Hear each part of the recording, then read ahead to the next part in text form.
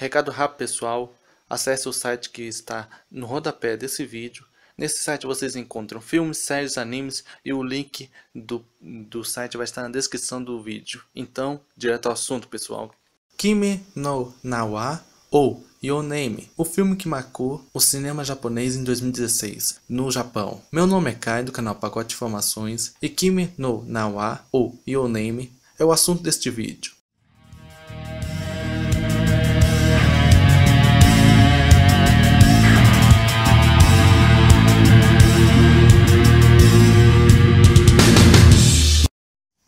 A história gira em torno de Taki, um rapaz de Tóquio, e Mitsuha, uma jovem de uma pequena cidade que deseja viver em Tóquio e se formar no ensino médio. As suas vidas correm normalmente até que se percebem que em determinados dias eles trocam de corpos.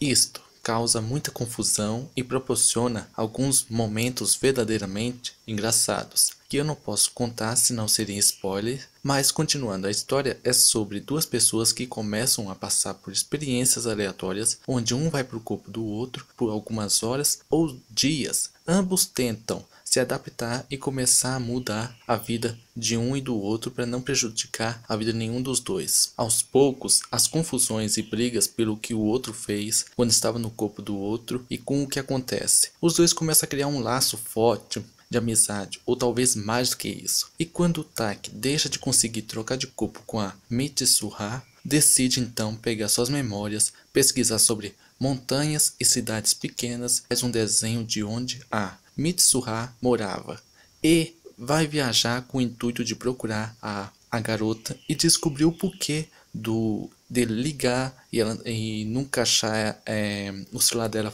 dentro de área. A partir deste momento, o filme te prende como eu nunca vi igual, por causa que você mesmo não sendo curioso vai ficar curioso para saber o que vai acontecer depois.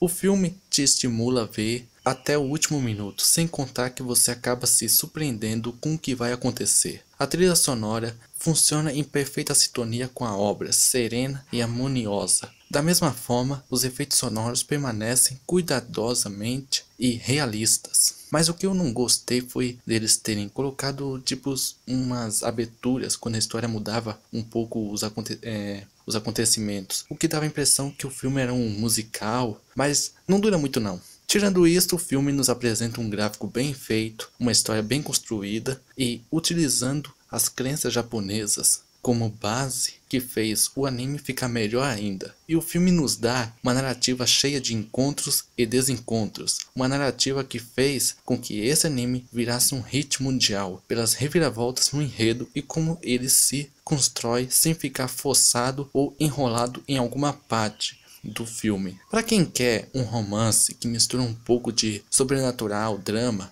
e comédia, eu recomendo esse filme. Muito bom ele. Esse filme, na minha sincera opinião, já entrou na minha lista de um dos melhores filmes que eu já assisti. Não é todo dia que eu vejo um filme dessa qualidade.